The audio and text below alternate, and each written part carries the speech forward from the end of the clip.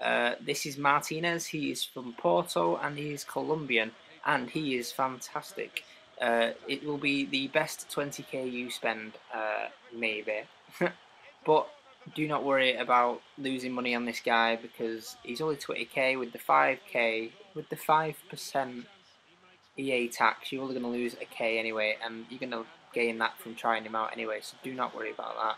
Uh, the guy has 4 star skills and 4 star weak foot, which I think personally is essential for a striker, uh, especially if you're going to play him alone, and this guy you could probably play alone because of that 89 strength that he's got.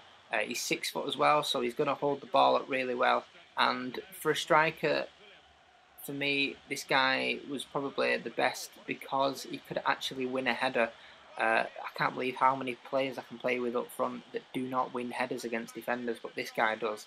Uh, he's got 89 jumping and he's got 80 heading, and it shows the amount of corners that I scored with him from. Uh, it was just unbelievable because I have not had a striker that good in a while. Um, mainly when I get corners, it's the defenders that score for me, but as you can see, he's just incredibly powerful with 89 strength, 89 jumping.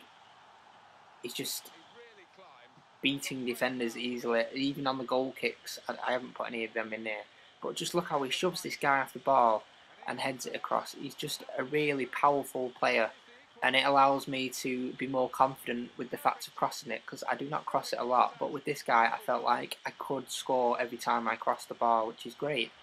Uh, he's got 84 finishing and 83 shot power, and uh, he's got a very good shot on him. Uh, he scores a lot from open play.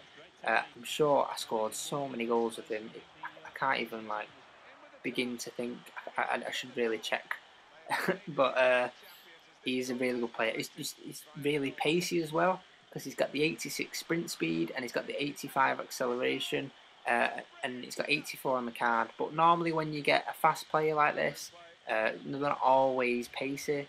Uh, just look at this goal now. Uh, I'm gonna have to wrap it up actually now because this is the uh, the last goal, but probably the most impressive.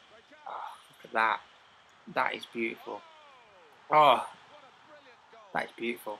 Anyway, uh, thank you for watching. I will have a Martins inform review out this week as well. So uh, do look forward to that, and uh, thank you for watching.